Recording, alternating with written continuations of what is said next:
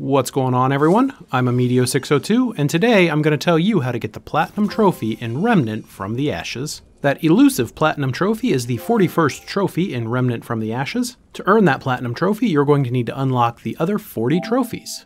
Of course, this guide isn't limited to just PlayStation players. Whether you're playing on Xbox, PC, or PlayStation, don't worry, I've got you covered.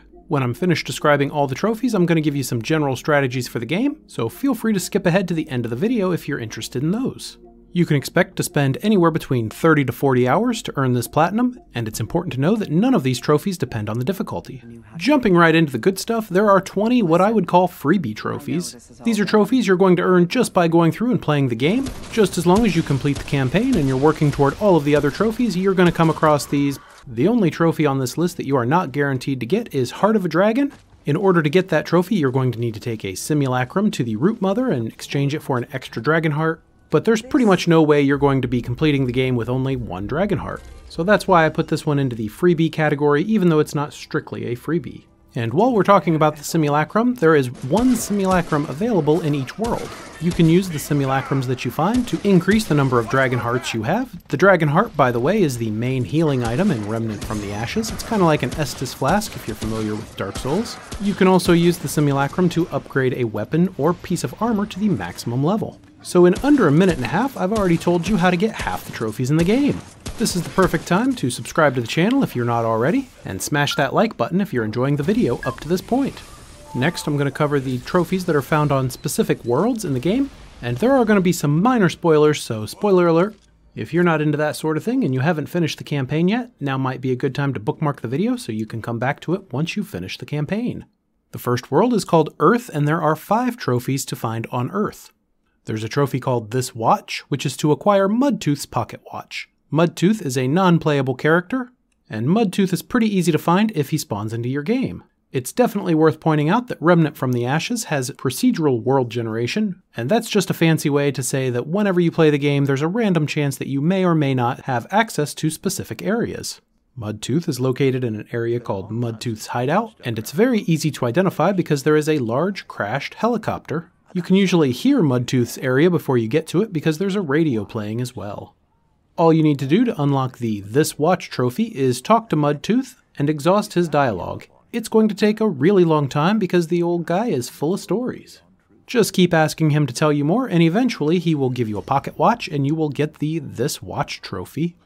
The next trophy is called Precious, and to get Precious, you have to return the tarnished ring to Reggie. Reggie is one of the merchants in Ward 13, and if you exhaust his dialogue, he will tell you about a ring that he once had. This ring is a random spawn, which will only appear on Earth. Reggie's ring is unique because it glows red instead of purple, and it's also stored under the Quest Items tab of your inventory. Once you've acquired the precious ring, you take it to Reggie and ask, Is this your ring? When you do this, you're going to unlock the Precious trophy as well as a trait called Scavenger, the scavenger trait allows you to pick up more scrap than usual, and I would recommend maxing it out so that you can earn the scrap collector trophy as soon as possible. In my adventures on Earth, I found the tarnished ring once in the overworld and once in a dungeon, so it is possible to spawn in either one. The next trophy is called Not So Lucky. To earn this trophy, you have to return the strange coin to Ace. Right across from Reggie in Ward 13, there is another merchant named Ace. Very similar to Reggie's storyline where he's lost this tarnished ring, Ace has lost a partner who has a strange coin. The strange coin was a really difficult spawn for me to find. In fact, I had to re-roll my game several times. I played through adventure mode probably three or four times and Earth on the campaign at least four or five times before I was able to find this coin. When I finally did find it, it was in one of the sewer dungeons, and I'd like to give you a few general tips for scouring Earth for these two items. First of all, I believe, and I'm not 100% sure of this, but I strongly believe that only one of these two can spawn on any given playthrough. So if you're playing the game and you find the Tarnished Ring, don't expect to find the Strange Coin as well.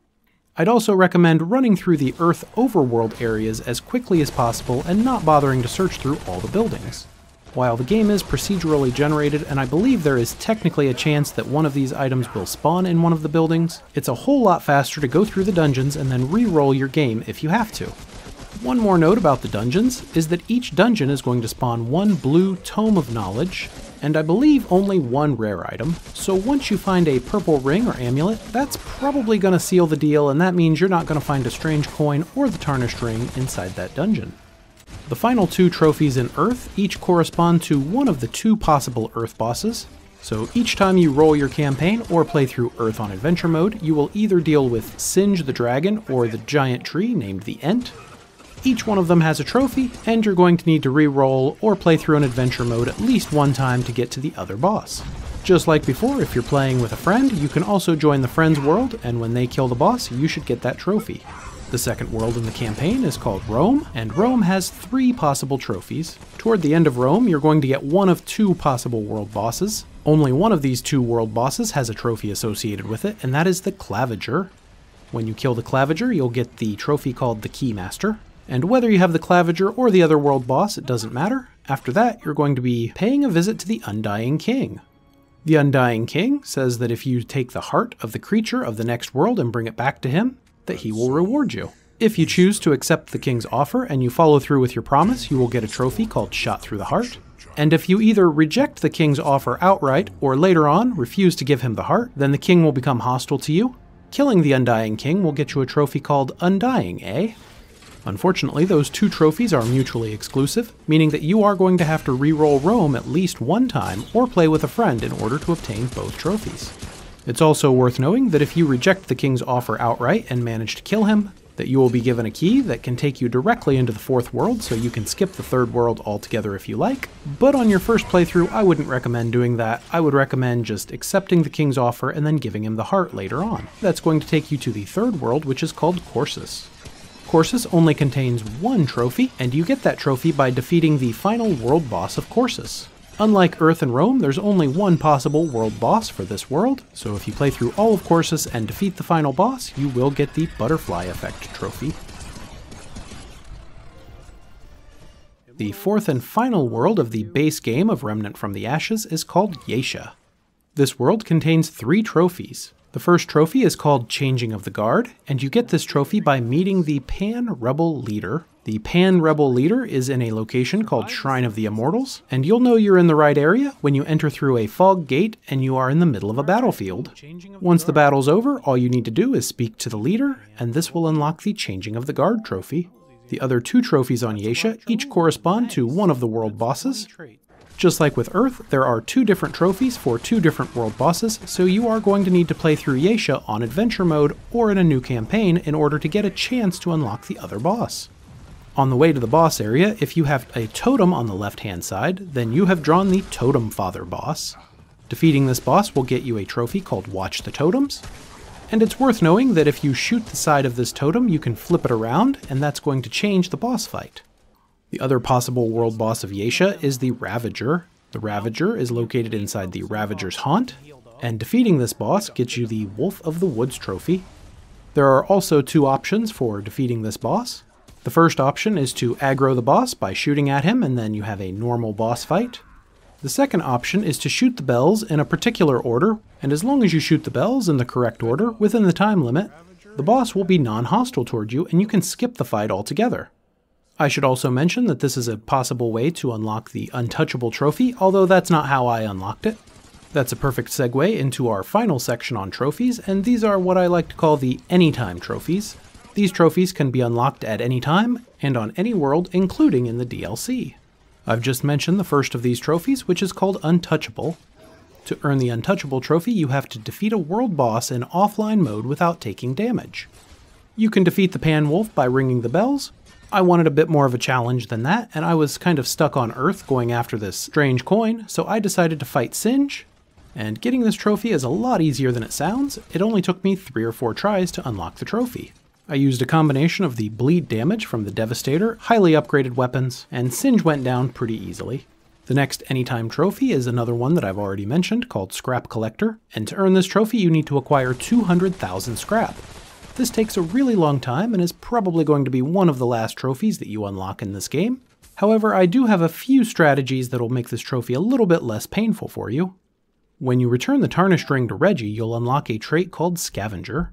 If you upgrade this trait to the maximum level, you will significantly increase the amount of scrap that you pick up in the world. You can also get an extra 20% scrap just by having any one piece of the Adventurer's set equipped at any given time. For light armor, it's pretty good, and I found myself upgrading it and wearing it throughout most of the game. There's also a random event on Yaesha that has an item called the Scavenger's Bauble. I've got a link in the description to a video that shows how to unlock this amulet.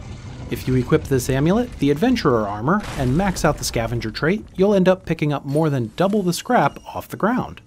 And I'd recommend doing all three of those throughout the majority of your playthrough to earn the Scrap Collector trophy as soon as possible.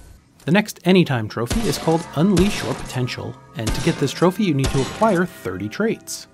I'm not going to go through how to get every single trait in this video because that would make it way too long, but I will have a link down in the description to a web page that tells you how to get lots of traits.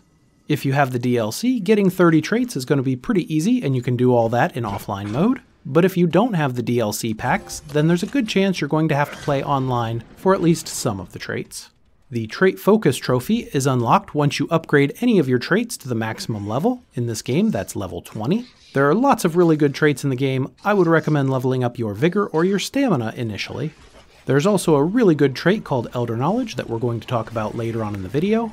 And of course there's the Scavenger trait that we've already mentioned a couple times. Just take any one of these to level 20 and you'll get the Trait Focus trophy. You can earn the Push It to the Limit trophy by upgrading any regular weapon to plus 20. This does not work for boss weapons because they can only be upgraded to plus 10. I would definitely caution against upgrading your weapon to plus 20 until your armor is leveled up as well, and that's just because of how the level scaling works. We're going to talk about that in the general strategies section toward the end of the video. The next trophy is called Like a Boss, and you can earn this trophy by upgrading a boss weapon to plus 5. Just like in the Dark Souls series, when you kill a boss, you can usually make a weapon out of one of their body parts. I really like the Devastator and the Defiler weapons, but the Spitfire was pretty good too. The next trophy is called Mod Enthusiast, and you get this by acquiring 15 different weapon mods. Most weapon mods can be purchased from McCabe in Ward 13, but some of the weapon mods, such as Very Good Boy, can be earned in the overworld. By the way, Very Good Boy gets my nod for my favorite weapon mod. Which weapon mod is your personal favorite? Let me know in the comments down below. The last trophy that is one of the Anytime trophies is called Equipment Enthusiast, and you earn this trophy by acquiring 10 armor sets. Just like with the traits, I'm not going to go through every possible armor set in the game, so I'm going to have a link in the description to a webpage you can use for reference. I am going to spend a little bit of time talking about some of the armor sets. When you choose your starting class, you're going to get one armor set unlocked right off the bat, and the armor sets for the other two starting classes that you didn't choose will be available from the merchant named Riggs in Ward 13. When you start the game, you're going to have two out of three pieces for the Adventurer set, and the third piece you can buy from Riggs with glowing fragment shards. Those are pretty hard to come by though, so I wouldn't count on getting that helmet unless you buy the DLC Swamps of Corsus. There are four pretty easy to acquire armor sets on Earth. These are the Drifter set, the Bandit set, the Twisted set, and Leto's armor. Rhom has three fairly easy to acquire armor sets, the Osius armor, the Akari armor, and the Void set. I'd strongly recommend picking up the Void Set armor because it's a really good armor set to have, and I've got a link to a video that shows you exactly how to obtain that armor set. Now let's move on to some general strategies for playing Remnant from the Ashes. At the beginning of the game, there are three classes to choose from. You've got the Hunter, the Warrior, and the Ex-Cultist. You can buy all of the mods and all of the weapons and the armor right here in Ward 13 for any of the classes, but you cannot buy the traits. The traits are going to be acquired randomly throughout the game, and I would recommend focusing on the traits and choosing the one that best fits your playstyle. Personally, I chose the Ex-Cultist class because it had Mender's Aura, but I believe that the starting trait is also the best, so I'm very happy with that choice. By the way, for early game weapons, the Coach Gun isn't too bad, but I did prefer the Hunting Rifle. Later on, I was lucky enough to find the Assault Rifle on Earth, and that's a really good weapon, as is the Beam Rifle. For short guns, I really liked the Spitfire SMG, but it wasn't very effective against a lot of the bosses, just because you had to get up close in order to burn them, and I found that the Defiler and the regular SMG were better general purpose weapons. For most boss battles, the hunting rifle was pretty good, but the Devastator was amazing. The Devastator does a high amount of bleed damage, and you only have to hit a single shot in order to have that damage over time buff, and even the regular shots from the Devastator do a huge amount of damage, When you first start out on Earth, you can get two pieces of the Drifter armor set pretty easily and for free, and you can also take the Founder's Keep card back into Ward 13 in order to get the submachine gun, the Elder Knowledge trait, and some other stuff. By the way, the Elder Knowledge trait is one that I would recommend leveling up as soon as possible because it will increase the rate at which you earn trait points and can level up your other traits. Check out the Things I Wish I Knew About Remnant Earlier video down in the description for more details. I have a few battle strategy tips for you as well. First off, don't be afraid to use your weapon mods, most of them recover very quickly, and they recover more the more regular damage you do, so it's best to use your weapon mods early on in the fight, and they'll probably be recharged pretty quickly.